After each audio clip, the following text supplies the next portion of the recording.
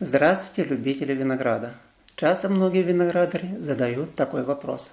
Когда лучше проращивать черенки винограда зимой и какие лучшие условия для проращивания их?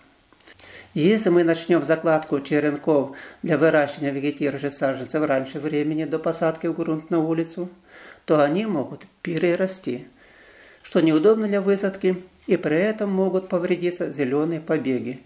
И раньше времени, когда световой день меньше 10 часов, необходимо дополнительно делать подсветку. 60-80 дней – это нормальное развитие вегетирующего саженца до высадки на улицу. Саженец должен подрасти за это время до 40-50 сантиметров.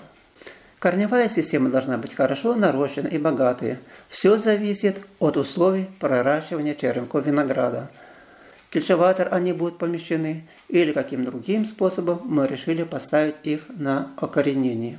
Каждый виноградарь создает свои условия, которые ему известны и испытаны временем. Итак, у меня для окоренения виноградного черенка от начала выемки его с места хранения до образования корневой системы уходит около 15-18 дней. По новой методике корневая система нарастает более качественно и обогащенно, чем раньше. Значит, дальнейшее развитие вегетирующего саженца будет проходить намного лучше, чем было до этого.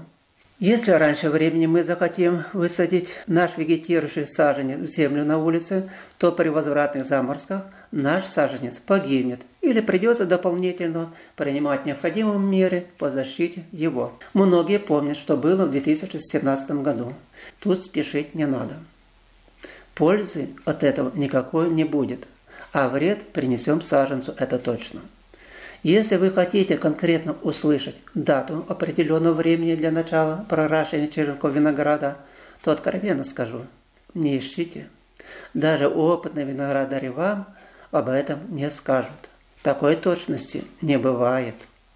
Здесь необходимо пользоваться одним правилом, а конкретно это соблюдая время – от начала выемки черенков с места хранения, в дальнейшем их закладки на проращивание и до посадки на улицу грунт должно укладываться в разумные сроки, которые не навредят вегетирующим саженцу в дальнейшем его полноценном развитии. Приблизительно границы их – это 60-80 дней. Придерживаясь этих сроков, в дальнейшем мы обеспечим лучшие условия развития вегетирующего саженца. Посадку виноградных саженцев лучше начинать в то время, когда возврата заморозков уже не будет. В зоне черноземья России это после 10-15 мая. Здесь спешка не нужна. А здравый подход к этому любимому занятию принесет пользу.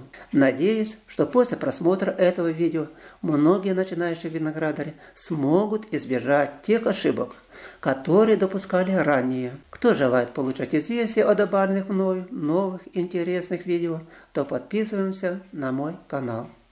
Не забудем нажать на колокольчик.